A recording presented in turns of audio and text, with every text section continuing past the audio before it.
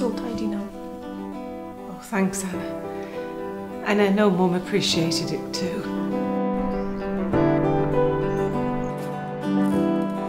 Are you on the school run? I need car fix. It's problem for work.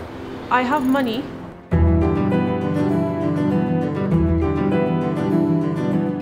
Drive carefully now. Little car, okay? Very careful.